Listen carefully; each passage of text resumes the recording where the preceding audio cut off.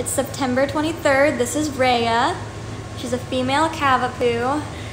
As you can see, she's got beautiful markings, got that mostly white coloring. Super cute. Been to the vet and checked out perfectly. She's up to date on her vaccinations and she's microchipped.